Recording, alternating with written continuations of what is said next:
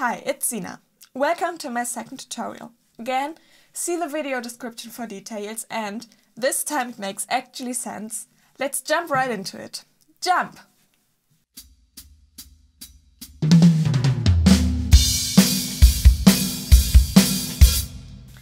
This is the intro fill.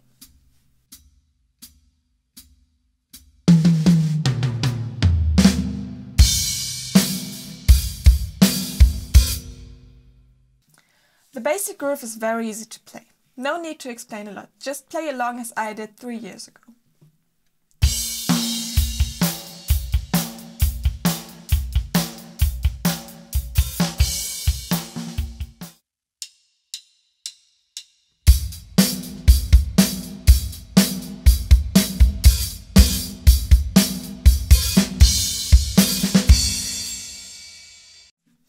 For the B part of this song, the groove changes and there are some easy tom fills towards the end of this section.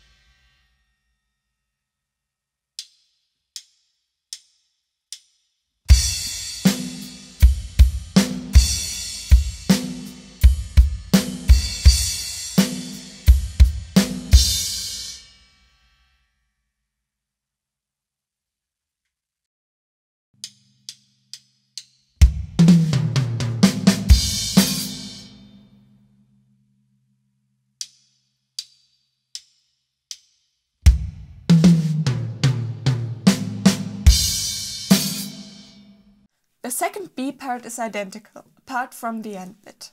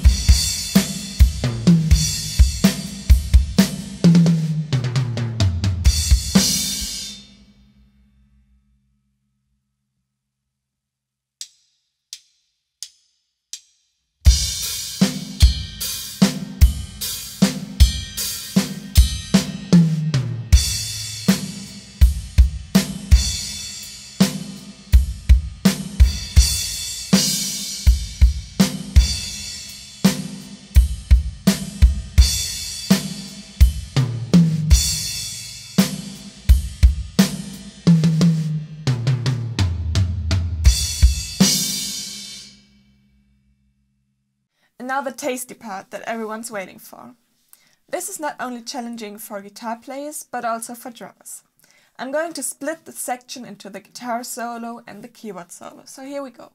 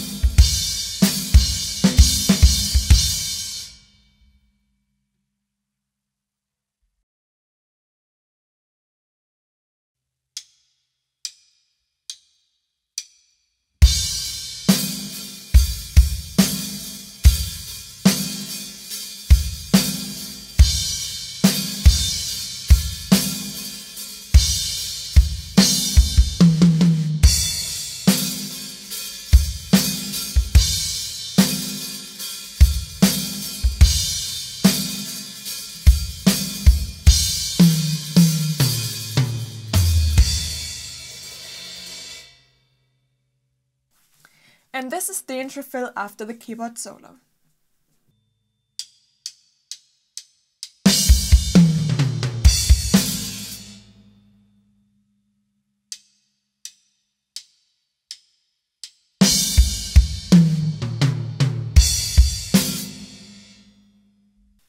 At the very end there's another fill and all the rest is pretty obvious.